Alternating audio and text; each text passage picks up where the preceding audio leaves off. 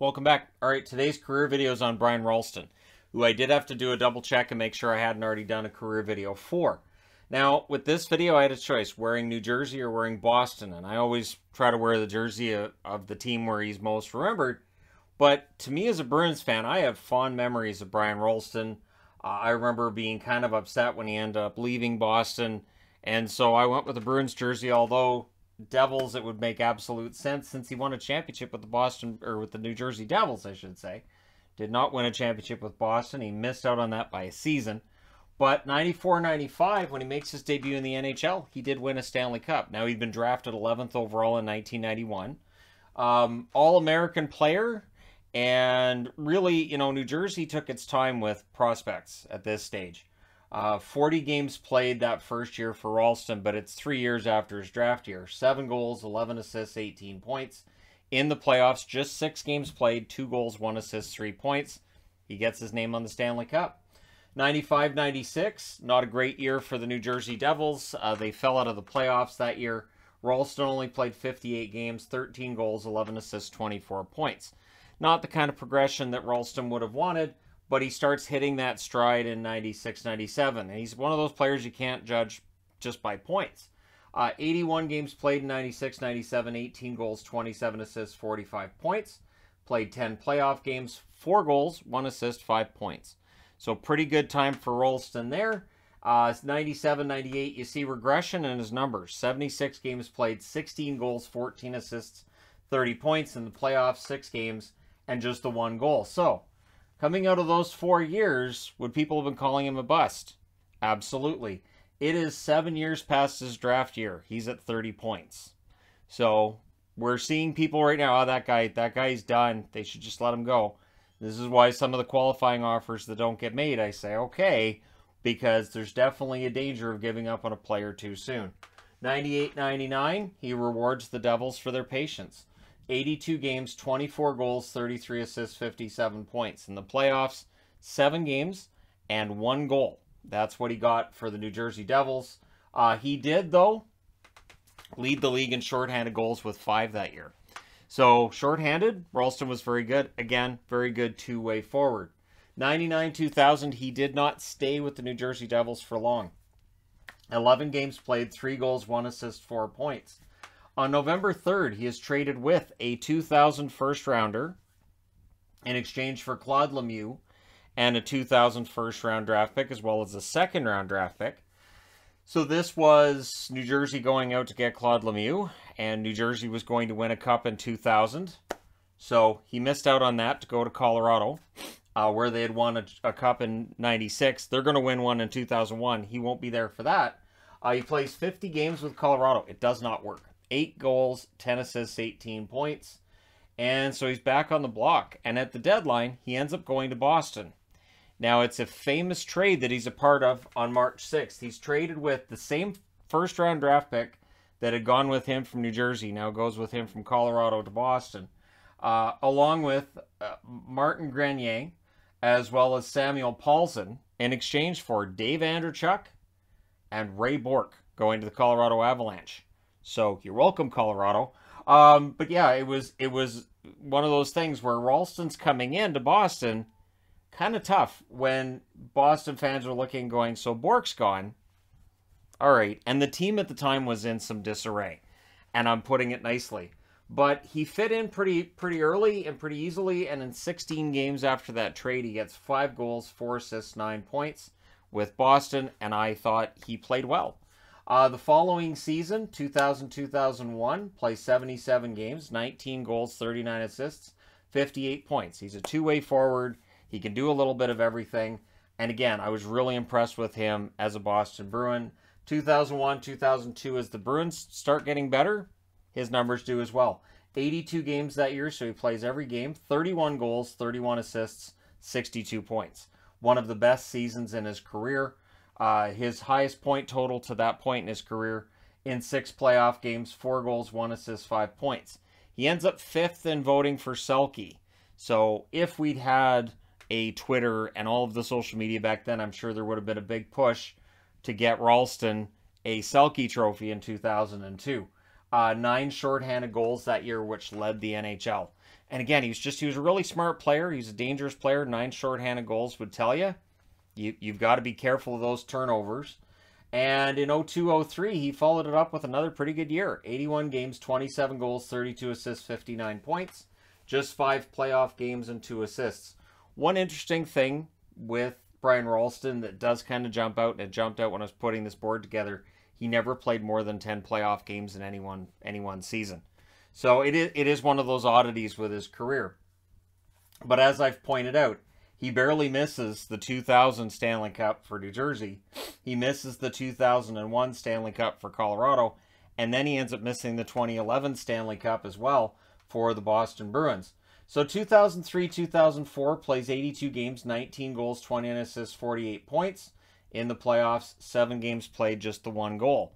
Boston lets him go to market, uh, which I did not agree with at the time. Uh, he goes to market, and on July 8th of 2004, he signs as a free agent with the Minnesota Wild. He would not suit up with the Minnesota Wild for 0405 because we didn't have a season. So it's one of those rarities where he signs a contract, and and it was such an odd summer. The summer of of, of 2004 was just bizarre because we knew we weren't going to have hockey. We knew that the salary cap, the players were dug in, the owners were dug in and that was it. There was no way around it. So he signs a contract, and players are signing contracts that they don't know what's going to happen with them. Now, he finally makes his debut in 0506, and he rewards them for their patience. 82 games played, 34 goals, 45 assists, 79 points. That is the best offensive season he ever had in the National Hockey League. Oddly enough, Didn't end up getting a bunch of Selke votes. We see that so often now where a player who's a really good defensive forward will have really good offensive numbers, and suddenly, hey, let's give him the Selke Award for best defensive forward in the National Hockey League. So 06 07, he follows that up with a pretty good year as well. 78 games, 31 goals, 33 assists, 64 points. Plays five playoff games, one goal, one assist, two points. This is also the one year that he appears in the All Star game, which good. He had to at least appear in, had to at least appear in one All Star game in his career. Uh, 2007 2008, 81 games played, 31 goals, 28 assists, 59 points. In the playoffs, six games, two goals, four assists, six points. So, what's interesting with him in Minnesota, Minnesota is not a team known for big goal scorers. Before Kaprizov, it's not happening. So, Rolston, while I'm, while I'm wearing Boston, and I've talked about New Jersey and how I could have worn either, I could have justified wearing a Minnesota jersey because he had three straight 30 goal seasons for a team that doesn't really see very many guys get multiple 30 goal seasons in a row. So he was a good goal scorer there, but they couldn't sign him. They tried, and so they traded his signing rights on July 29th for a fourth round draft pick to the Tampa Bay Lightning. Tampa was unable to sign him. So he goes home again. On July 1st, he signs as a free agent with the New Jersey Devils for four years. It's a little over $20 million. So it's it's the highest paid contract he's had. He was at over the three million dollar mark before that. Now he's over five million. What's what's interesting to me, and this is something in the National Hockey League that has happened. I know it happens in other sports too. The expectations of a player who makes two million, the expectations of a player who makes five million, are such that these players could have the exact same season. One would be seen as a shining success, and the other would be seen as a failure. And I think that big money contract, combined with the fact that yeah, he's getting older, uh, led to more scrutiny for Rolston and his return to New Jersey. Plus, yeah, his numbers drop. In 08-09, 64 games, 15 goals, 17 assists, 32 points. In seven playoff games, he adds a goal and an assist for two points. 2009-2010, he would have his final 20-goal season in the NHL. 80 games played, 20 goals, 17 assists, 37 points in five playoff games, two goals, one assist, three points. 2010, 2011, and what would be his final year, and it's it's tumultuous at this point. 65 games, 14 goals, 20 assists, 34 points. So he's got a year left on the contract. New Jersey knows it's time to have a divorce. Rolston knows it's time to have a divorce. So July 28th, he is traded for Trent Hunter. Trent Hunter's career is an interesting one too. Maybe at some point I'll do a video on him. Uh, it didn't end up being as long of an NHL career as I think most, including myself, thought it might be. But yeah, for Rolston, he's off to the Islanders.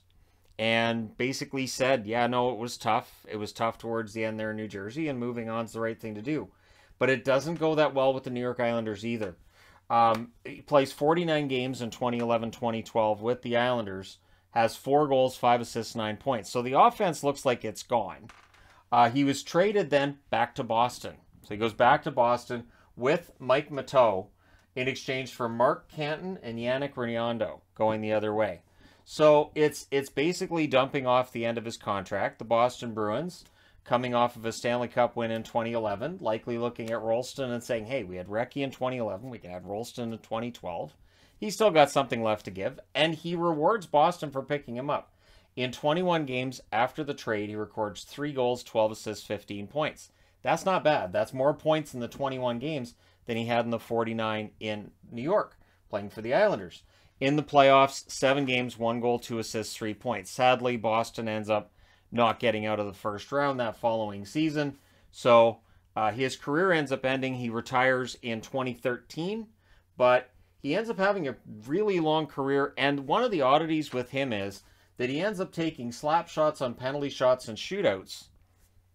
And that's kind of what he's known for as well, is that he, he was able to hit hit the mask of a goaltender, um, almost hit the mask. Basically, his slap shots terrified people.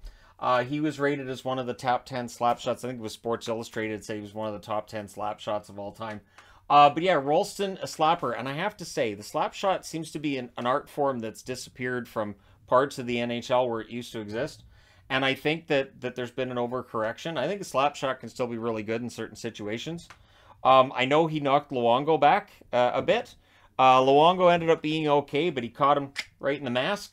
So, yeah, a Rolston slap shot's definitely something to try to avoid. And if you do, if you duck out of the way, it might end up going in the net.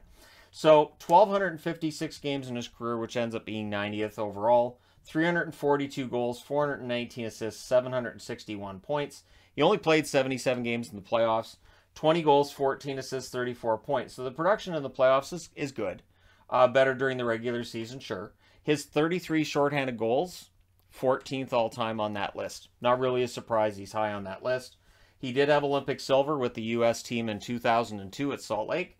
Uh, 1996 at the World Championships, he had a bronze medal, and 1992 for the World Junior Championships, he also recorded a bronze medal.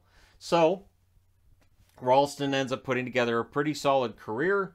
Uh, again, I think he would have been an analytics darling by today's standards. It just, you look over his career and everything he did, I, I really think he would have been. But that's a whole debate for another time.